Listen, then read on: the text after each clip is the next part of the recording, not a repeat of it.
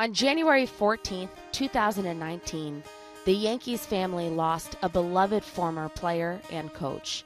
Mel Stottlemyre lost his long battle with cancer. His distinguished career in the major leagues, which spanned nearly half a century, won't soon be forgotten. Stottlemyre was born in Hazleton, Missouri on November 13, 1941. He attended Mabton High School in Mabton, Washington, and then Yakima Valley Community College, where he was discovered by a Yankee scout. Stottlemyre was signed on June 10, 1961, and pitched in the Yankees farm system for four seasons. He was called up to the Major League Club mid-season in 1964 and went 9 and 3 with a 2.06 ERA down the stretch to help the Yankees win their fifth consecutive pennant. He amassed a 20 9 record the next year in 1965 and led the league with 291 innings pitched and 18 complete games.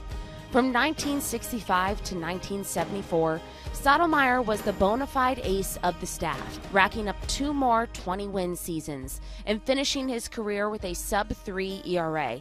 Overall, he was named to five All Star teams and ranks in the top 10 in many franchise marks, including second with 40 shutouts and seventh with 164 wins. Stottlemyre retired from baseball prior to the 1975 season, but he couldn't stay away for long. The sport drew him back in 1977 with coaching stints for the Mariners, Mets, and Astros.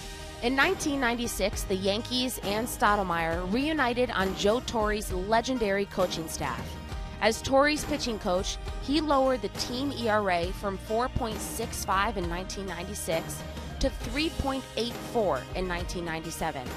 During his 10 years coaching in New York, which included four World Series titles in five seasons, the pitching staff was regarded as a major factor in those dynasty years.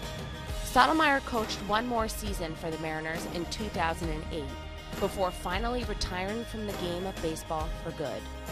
In 2015, with his doctor's permission, Mel made one final trip back to the stadium and was surprised with a plaque that now hangs in Monument Park.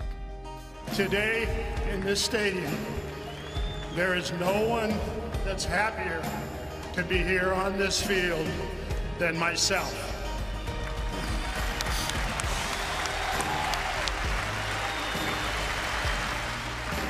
If I never get to come to another old timers game, I will take these memories that I have today and I will start another baseball club coaching up there whenever they need me.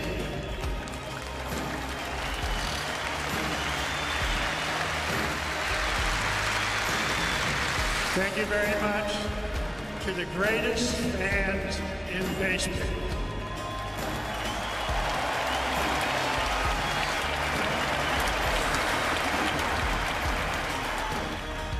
Mel Stottlemyre left an indelible mark on Yankees history and all of Major League Baseball. His legacy will forever live on in our hearts.